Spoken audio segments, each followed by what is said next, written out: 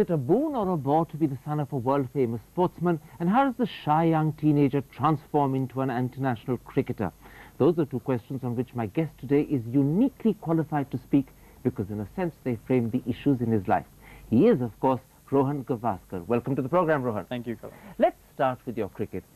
It was in January this year that your dream of playing for India came true. I gather you were in Jamshedpur when you heard the news. Yeah, I was with the Bengal team. Uh, we had our zonal one days going on.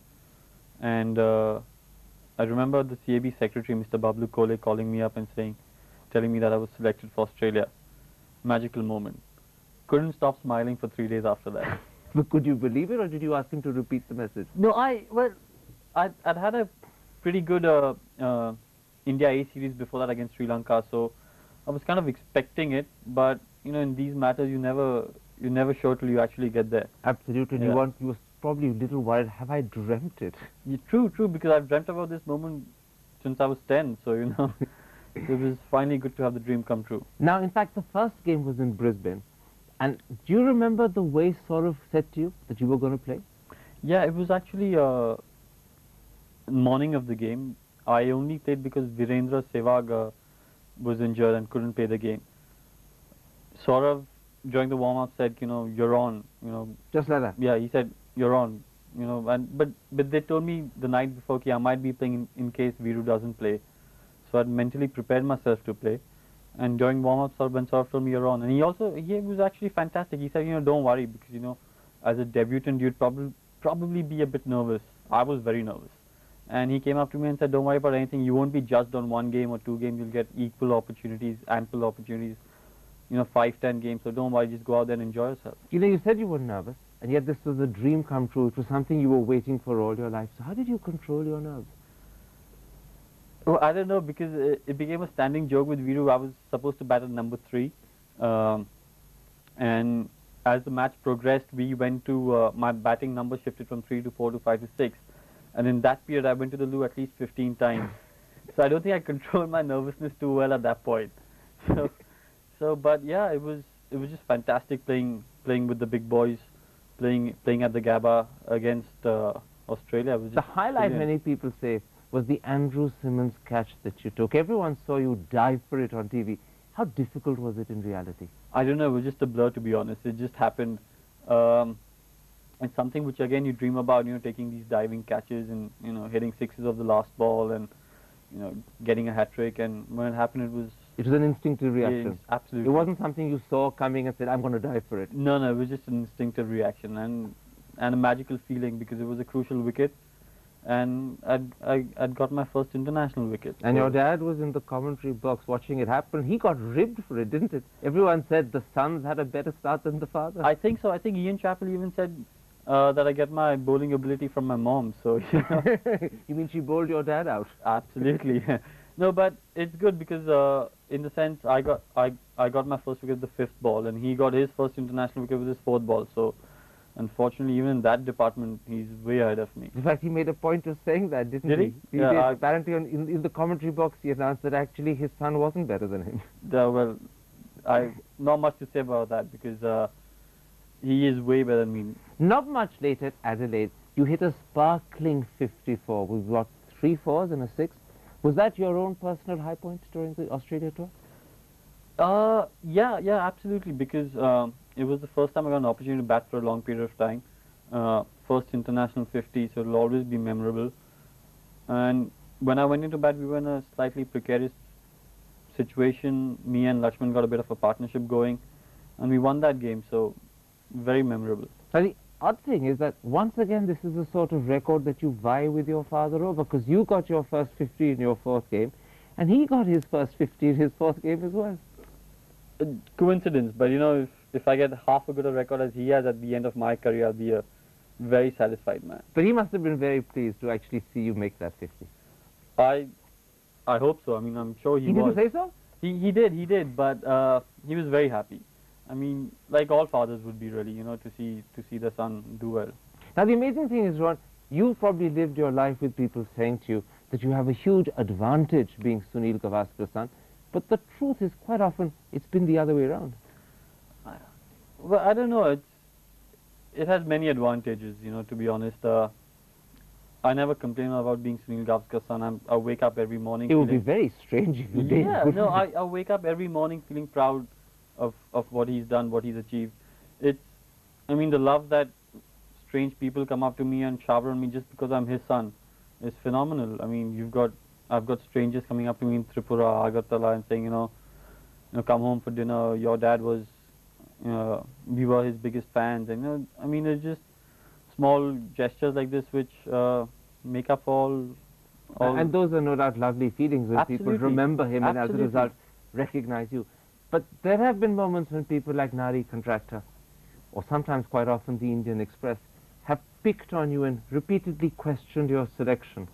And that must have been difficult to take. Not really, no. In the sense, uh, with with Mr. Contractor, it's it's his personal opinion, and obviously doesn't rate me as a cricketer.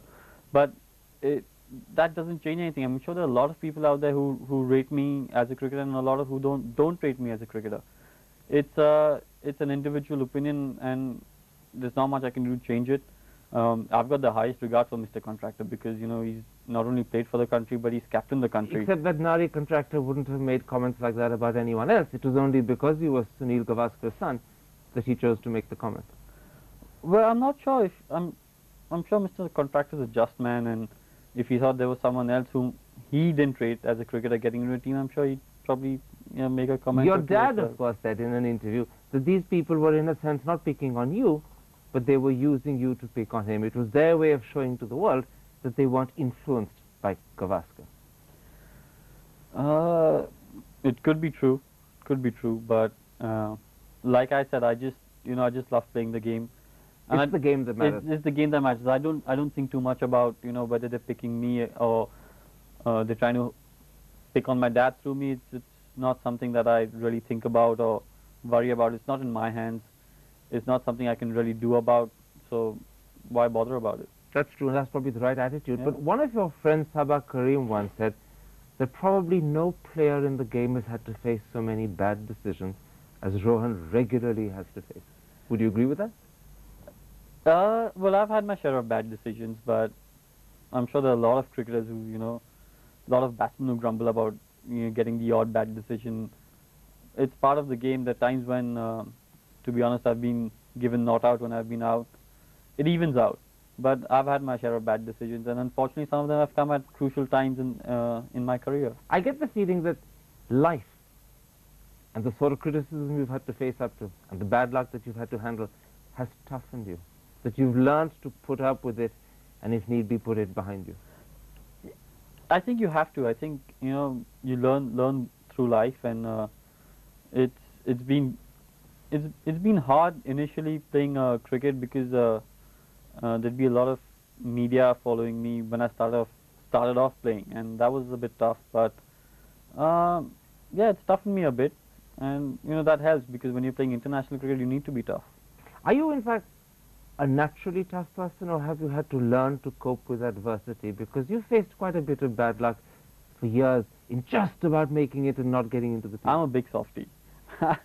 I'm a big softie. I'm not a naturally tough person, but uh, you cope with things and, and situations as they come.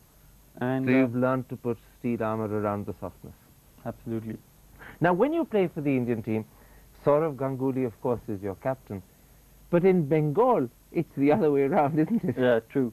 Uh, but that's also generally because Saurav comes in for a game or two and he doesn't want to spoil uh, the team balance and, and the fact that you know I've been captaining throughout the season and I, I know what the players have been doing, which players been batting well, which players been bowling well. So I think uh, he, just, he doesn't want to spoil that that and is he an obedient team player? Does he, Absolutely. take, he listens to his captain. He listens to his captain. He's a team man to the core. He, and you love giving him orders on the field. no, no, no, no. It's, he actually advises me quite a bit when I'm captain. You know, he comes and tells me this. You, you know, you should try and do this. You know, try and do this, and it's always great to be playing with him. They say that one of your personal ambitions is to get three international wickets. Why three? Uh, good, good question. Uh, that's because Dad has two international wickets, and that's probably the only department where I can get ahead of him. So three is three is the target Somewhere or the other, you're determined to be better. for sure. I mean, at, if I get three, I can sit on the dinner table with him and tell him, uh, three wickets that, try and beat that.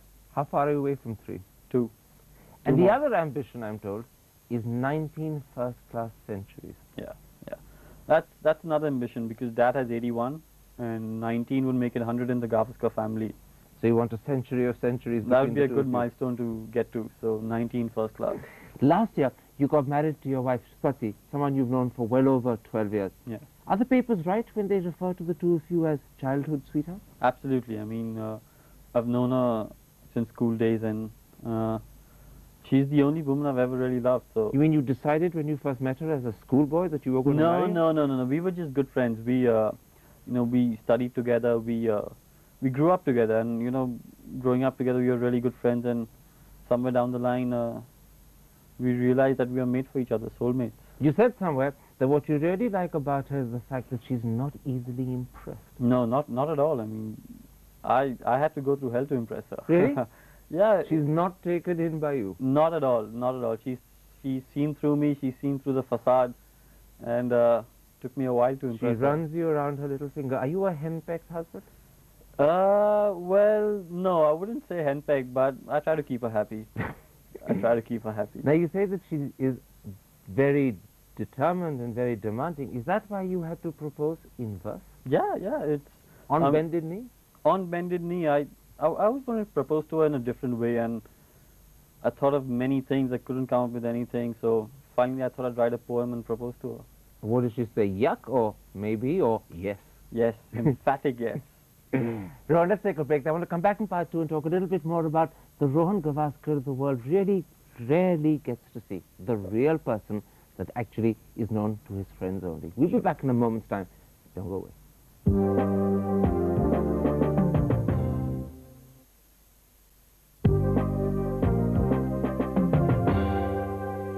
Welcome back. My guest is Rohan Gavaskar. Rohan, let's start with your name this time. It's not simply Rohan Gavaskar, is it? No, it's not. It's uh, Rohan Jai Vishwa Gavaskar. So it's uh, not only the burden of a Gavaskar name, but it's got Rohan Kanhai, Jaisimha, and Vishwanath. And isn't there a Sunil there as well too? Uh, Sunil's there as well too. A lot of runs to live up to. now, your dad was away when you were born, and I gather it took quite a while before the news caught up with him. yeah, yeah, he was in New Zealand uh, with the Indian team, and uh, um, when I was born, and and and for a while he knew he knew uh, he'd had a kid, but he just didn't know which sex the kid was because uh, in the excitement uh, when the message was passed, They forgot passed to say. Yeah, they forgot forgot to say whether it was a boy or a girl, so he just knew he'd had a kid and and his uh, and mom was safe and the kid was safe, but he didn't know if, if it was a boy or a girl. So how did he find out that it was you? I think it was after a few days uh, uh, when he did actually get to speak to uh, mom that. that he Now, you were an me. only child, and a lot of the time your parents were away on tour. Were you lonely? Did you miss them? Uh, well, I did miss them, but not lonely because my grandparents really looked after me well. Um, never gave me any cause to complain. Looked after Did me. it well. spoil you? Absolutely, all grandparents. spoiled So me. whenever your parents came back, they had to discipline the little boy? Absolutely, absolutely. No, but it, I was never lonely because luckily I had a lot of friends with me, my grandparents, and it was it was a good childhood. Not surprisingly, you were probably obsessed with cricket from almost the day you were born. Yeah. I gather that at the age of three, you used to use the game as a cure for fever. True, true. Uh, not not always, but there was a time when I had really high fever, and uh, uh, the family doctor came home, and and she was saying uh, she diagnosed as some some sort of uh, high fever, and and as she was leaving, I just said I want to play cricket, and my grandparents were a little reluctant because they thought you know with with fever and the exertion would probably not do me good, but she said no, let him play cricket, let him do what what makes him comfortable and happy, and and I played cricket for about five minutes. And the fever came right down. No, I don't know. I, I, I'm assuming it did, but I was just too tired after about five minutes of cricket. I fell asleep and was better the next day. Now, in those days, it was bowling that you were really fond of. I'm Yeah. that you had a marathon-like run-up that went all over the house. Yeah, this was when I used to play with dad.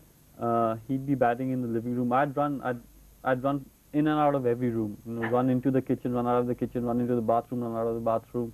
Uh, just trying to gather some momentum and pace, and then come at a distance of four feet and bowl to him, and still not get him out.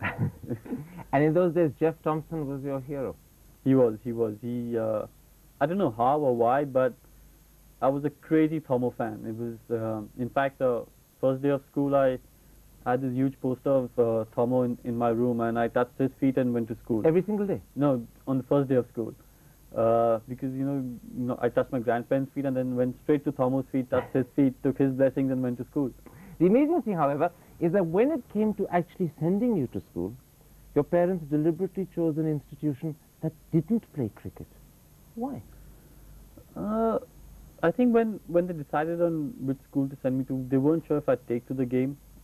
I mean, to take to the game. You mean uh, your dad hadn't seen the Gavaskar spark in his son? No, I don't think he had. He he wasn't sure if I had the aptitude or the ball sense to play the game, and and who knows? I may I may not have liked the game ten years down So the they were line. playing safe. They didn't want to Yeah. put you under pressure. Yeah, and they didn't want to put me under pressure, and they wanted to make sure I got a, uh, a got a good education. So, so I've, I've I've got no regrets with or complaints with the school they sent me to because that's where I met Swati. So, definitely no complaints. And in fact, the other thing is that despite the fact the school didn't play cricket, you blossomed as a cricketer while you were at school. And in fact, at the age of 15, you made your debut with the Shatkar Trophy. Yeah, that that's uh, a tournament which is played in Bombay uh, as a selection tournament for the under 15s, and uh, I got a double hundred in, in, in the Shatkar Trophy, and it was that that again is a very memorable innings for me because that was my first big hundred, and it sort of gave me confidence uh, into the game of cricket because I knew I could play a big innings and you know uh, make a name for myself. And that was, of course, your first big performance. Were you conscious that your parents would know about it, may even have been watching it, and that this was going to, in a sense, prove to them that you were your dad's real inheriting son? I wasn't conscious, but you know I was I would have definitely been happy if they'd seen me play that innings. You know, They missed it. Uh, that's a bit of it, I think. He he'd park his car and you know peep uh, slyly through the car seat because he didn't want to make me nervous by being there. So I think he saw a bit of it. Uh, I don't think my mom saw it because mom, uh, whenever she comes to the game, unfortunately she's come thrice and she's seen me get out for a duck uh, every time she's seen me. So mom doesn't bring you good luck at all? Or do you just get nervous when she's in the stands? No, mom, mom, mom brings a lot of things. Mom brings uh, a lot of good luck. Uh, she just needs to time her good luck well because whenever, when, the first time she came, she, uh, uh, I got on the first ball. The second time she came, I got on the second ball. The third time she came, I got on the third ball. So maybe she needs to come after I've settled in and got a few runs, and then that's when the good luck will take me through. Now, your friends say that as a teenager, and this is pretty hard to believe, Rohan was tongue-tied, nervous and shy. I still am a shy guy. I mean, uh, What have you done, hidden it? No, no, no. I'm I'm uh, I'm shy in the sense I um, I'm a, I'm not sure whether people uh, you know would would uh, will accept me. You know, in the sense. Uh, um, You sound a little unconfident about yourself. no, no. It's just some people sometimes you know uh, don't know how to react to you, and I don't want to give a wrong impression. Or so I just tend to keep to myself and be quiet.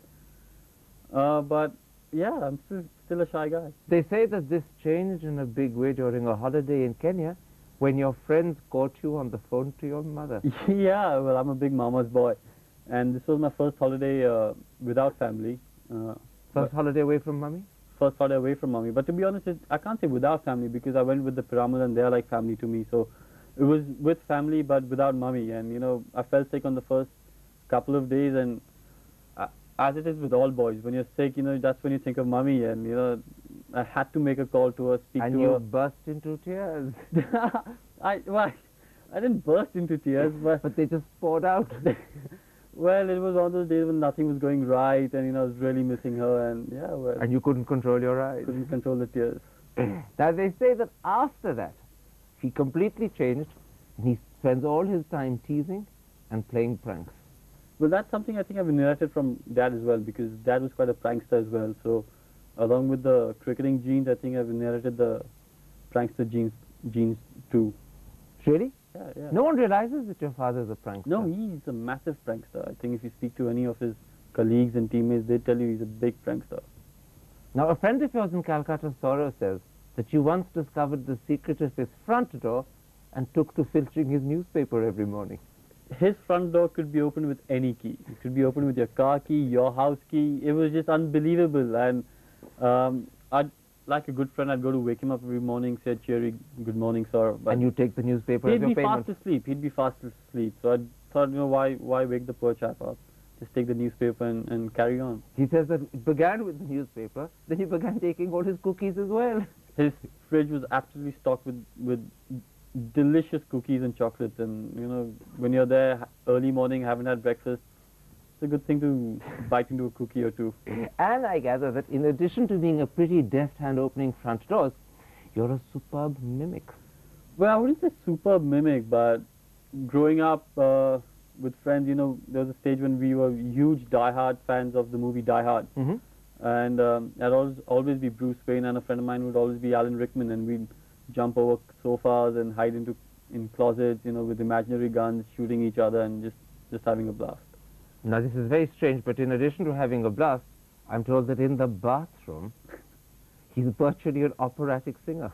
Mm, They they make fun of me because I I I can't sing. I mean, it's something which I've always wanted to do. Uh, have a good voice, carry a tune, but I just can't carry a tune. On, you say that you can't sing, but your friend say, and I'm going to try and see if I can quote it accurately, he thinks he's got a terrific voice. Mm, I think they're just trying to con you into trying to make me sing a few lines on the show, but uh, I can't sing. Not at all? that. Not at all. But you do it in the bathroom regularly. Because no one can hear me. And you're very possessive about your cricket cap. yeah, it's, that that again is something I've learned from Dad. Uh, the cricket captain sweater. I've seen what it's meant to him. It's it's uh, it's an honor to wear that cap. Not many people get the opportunity. Only 15 uh, from a country of So a what billion. happens if your wife puts it on? No, she she She- doesn't. She, doesn't. She doesn't. She, she wouldn't she, dare. she knows better than to put the cap on. She, it's it's uh, something I'm very proud of, and I don't I don't let my friends or my or, or even Swati you know wear it. It's only if you've played for the country, you've you know you've worked hard, sacrificed, and you know got there that. that Cricket is everything to you. It's it's a big part of my life. It's a, it's definitely a big part of my life. But you're also determined to ensure that it's a part of your life, not just Rohan's son or Sunil's son. No, yeah, no, absolutely. I mean, uh, fortunately, I've, I've created a niche for myself in domestic cricket. I've got an opportunity in Australia to uh, create a name for myself in international cricket. I've started on that, and hopefully, a few more opportunities down the line, I'll, and I'll create a niche for myself Were in you very international cricket. disappointed when you didn't get picked for Pakistan? Uh, well, disappointed, yes, but you know, it's it's only 15 can go on a tour, and uh, unfortunately, I wasn't on this 15. Uh, hopefully, I'll be in the next one. Tomorrow is another day. Tomorrow's another day. Rohan Gavaskar, a pleasure having you on the program. Pleasure to be here, Karan.